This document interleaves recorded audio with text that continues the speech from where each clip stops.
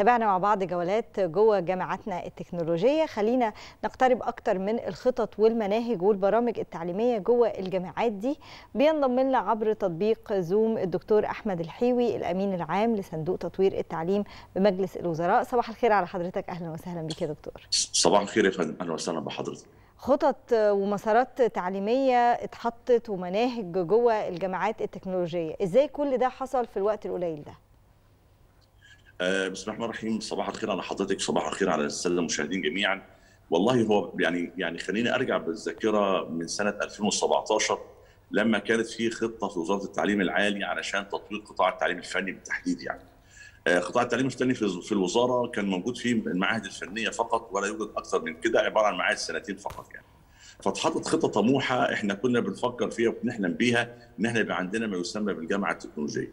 وأنا متذكر في ذلك الوقت معالي الوزير التعليم العالي في ذلك الوقت كان عرض على الرئيس السيسي وإحنا ما كناش كلنا مصدقين إن تم التصديق على تنفيذ أول ثلاث جامعات تكنولوجية اللي هم بدأوا بالدراسة بالفعل من 2019 في القاهرة الجديدة وبني سويف والدلتا وكان حلم بدأنا نشعر به وبدأنا نحس إنه بدأ يتحقق على أرض الواقع بالفعل.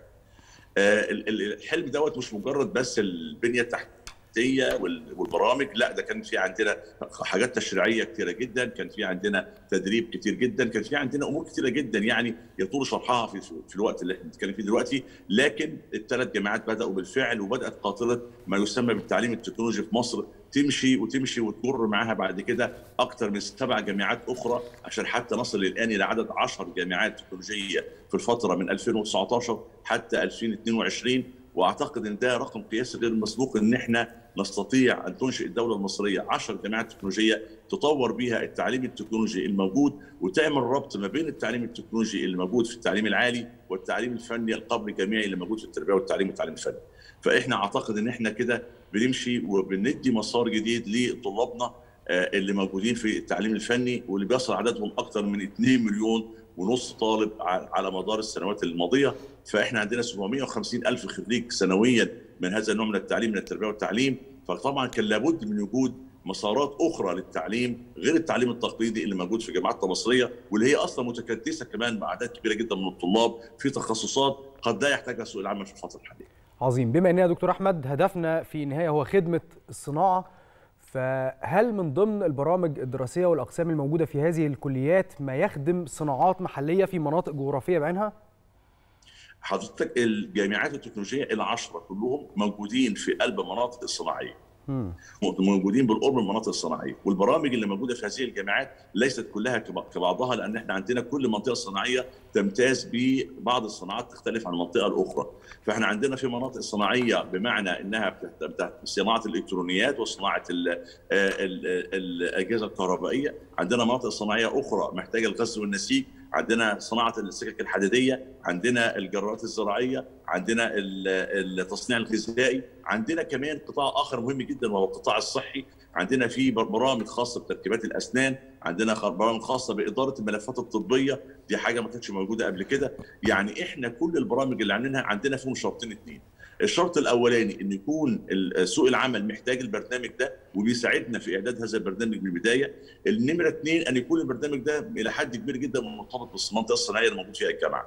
علشان كده نقدر بعد كده نقدر إن إحنا نوفر فرص التدريب للطلاب والتي يثمر بعدها بعد كده يكون في راس توظيف إن شاء الله بعد ما يتخرج. أكيد. دكتور إحنا شايفين شراكات دولية اتعملت كتير مختلفة مع العديد من الدول والعديد من الأنظمة أو البروجرام من الجامعات الأخرى التكنولوجية غيرنا. أنا عايزة أعرف إحنا معانا كام شراكة بالتقريب؟ حضرتك شايف أهميتها إزاي؟ أبرزها ممكن تكون إيه؟ خليني أقول لحضرتك حاجة إن الشراكات الدولية إحنا بنجيبها علشان تدعم التجربة دي. وإحنا لما بنعمل شراكات دوليه بنخش في مفاوضات كبيره جدا مع كثير من الدول. حتى الان إحنا عندنا أكثر من دوله اتكلمنا معاها اتكلمنا مع الصين اتكلمنا مع الهند اتكلمنا مع ال UK اتكلمنا مع ال US عشان نقدر نوجد شراكات دوليه مع الايه مع هذه الجامعات الشراكه الدولية اللي موجودة معانا وكانت تجربة مثمرة جدا حتى الشريك الأجنبي نفسه يعني فخور بهذه التجربة هي الشراكة اللي موجودة مع دولة كوريا الجنوبية في جامعة بني سويف التكنولوجية. لأنهم كانوا موجودين معانا from day 1 وكان اختيارهم هذا الموقع لقربهم من المصانع الخاصة بهم.